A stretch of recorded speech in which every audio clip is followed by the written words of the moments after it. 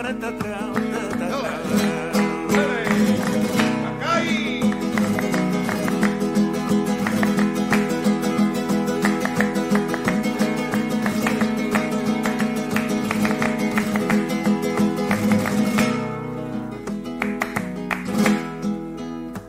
le llaman querida cariño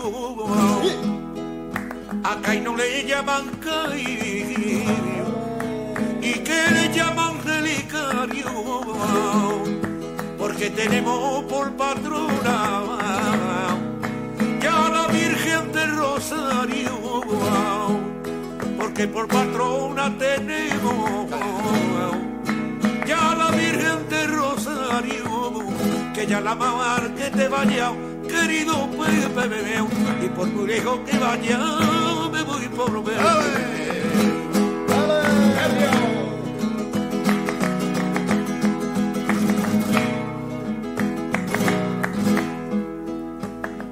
Bonito está, y cómo reduce mi caído. Mira qué bonito está. Sobre un cachito de tierra y que la roba ahí y sobre un cachito de tierra y que la roba ahí cuando se entra en calle en el paraíso de la alegría.